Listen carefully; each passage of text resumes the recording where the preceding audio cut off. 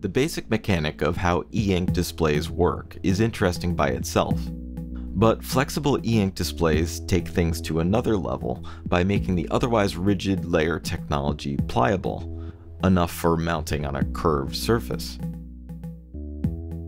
Just like a classic e-ink panel, this 2.1 inch flexible display can be programmed via the e-ink Friend Featherwing, either connected directly to the board's 24 pin port or from a distance using an FPC cable and extender, therefore allowing us to mount the flexible display on the side of a container.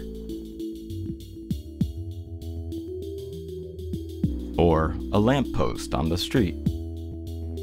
Or maybe the human forehead. You never know.